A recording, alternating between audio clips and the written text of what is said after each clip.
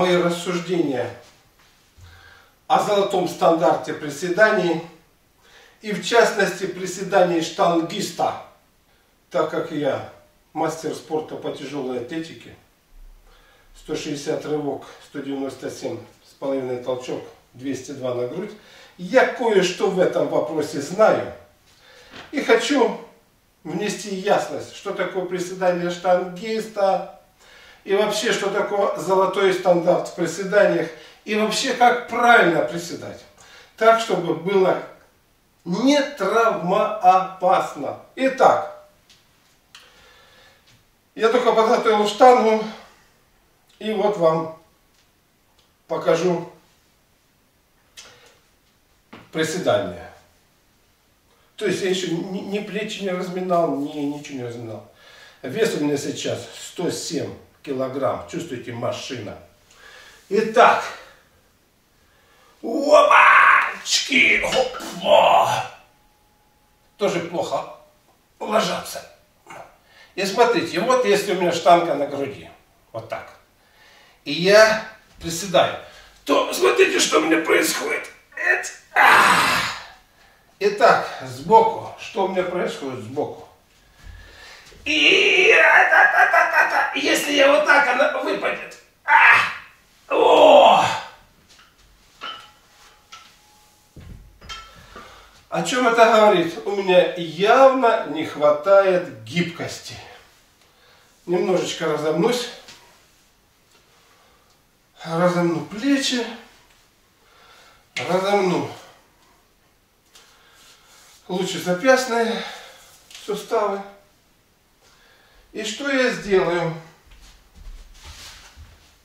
Из-за того, что не хватает гибкости в седе, я просто-напросто добавлю вот эту палочку. Она примерно сантиметра, наверное, 3 высотой. Вот эту палочку. Так. Вроде как размялся. Чуточек, чуточек. И еще разок. Опачки! Оп. Теперь я приседаю. О, смотрите. О, гораздо ниже. О, прямое туловище сбоку, насколько все это прямо. Фу. Оп. Прямо и ниже. Вот. Чувствуете разницу? Разницу прочувствовали? Как спина стоит? Какая глубина седа? Где-то вы не можете сесть. Кстати, я колени еще не разминул. Надо бы колени размять. Сейчас еще немножечко. А сейчас я покажу, как приседать на груди, если у вас слишком большие руки, и они вам не дают подвернуться. То есть вообще над этим делом надо поработать, но тем не менее.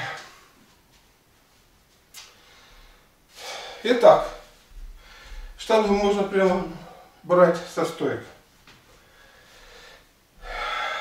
Что мы делаем? Мы поднимаем ее на грудь, ложим и смотрите как. Вот так вот. Вот так вот, поняли? Она лежит. И приседаем. Раз. Встали. Даже вот так. Раз, встали. Но обычно вот так держит. Раз, встали. Так, сбоку показываю. Как у меня лежат. Я встаю. И раз, видите, как я уже стал. Встали. И еще разок. Раз, встали. То есть у меня здесь работают работают ноги, а не спина. То есть у меня нет вот такого, смотрите. Без этого я приседаю. То есть я пошел, гибкости не хватает на полной ступне. И я вынужден вот так вот сесть. Вот. И отсюда спиной и ногами поднимать. Спиной и ногами. Нагрузка на поясницу.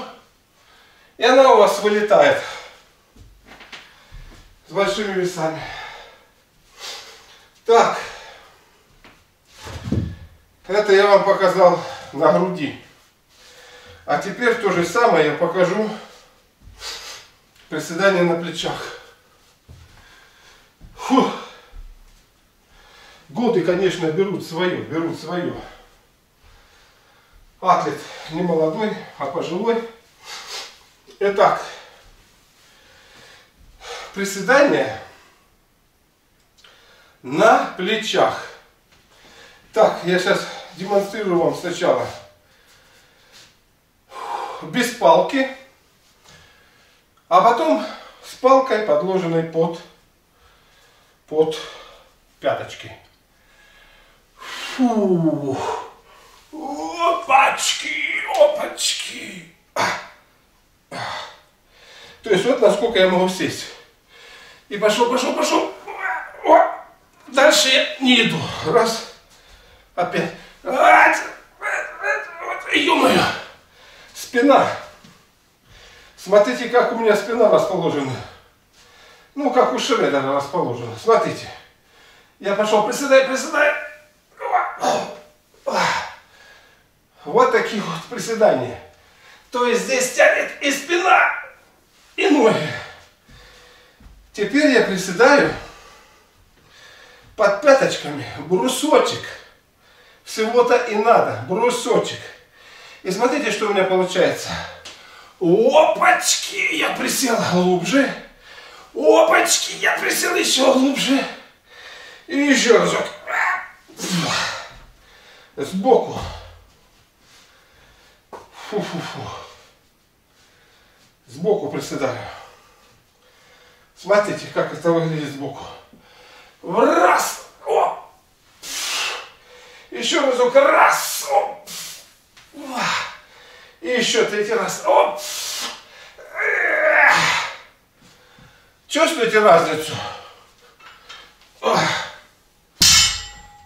Вот это будет и приседание штангиста, это будут и золотые приседания.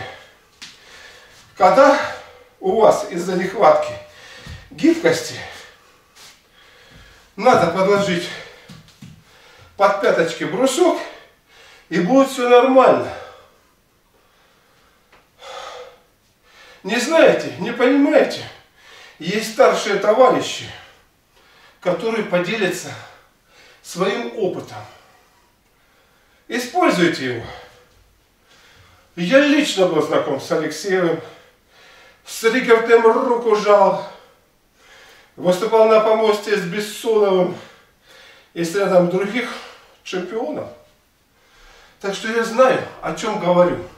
Вес 27,5 килограмм. С таким весом я еще никогда не работал. Ну, попробуем.